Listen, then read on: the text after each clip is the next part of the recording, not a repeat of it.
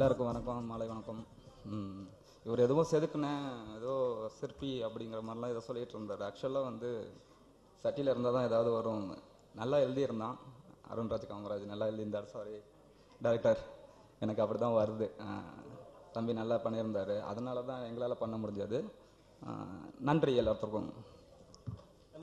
கிராமம் இன்னொன்று வந்து கிரிக்கெட் ஃபீல்ட் அண்ட் கிரிக்கெட் கிராமங்கிறது வந்து நான் ஏற்கனவே பிறந்து வாழ்ந்தது. அதனால அது பெருசா நம்ம போய் இப்போ பயங்கரமா ட்ரை பண்ண வேண்டிய அவசியம் இல்லை ஏன்னா நம்ம வாழ்ந்த ஏரியாவில் தான்.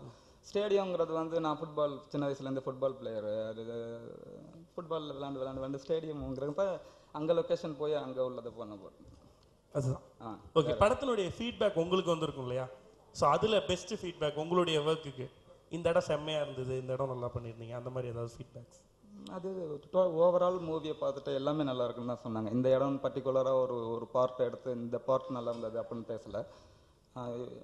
மூவி ஃபுல்லாகவே பார்த்துட்டு ஓவராலாக ரொம்ப நல்லா பண்ணியிருக்கா அப்படிங்கிற மாதிரி தான். தேங்க்யூ நன்றி. நன்றி ஸோ இதே மாதிரி சிறப்பான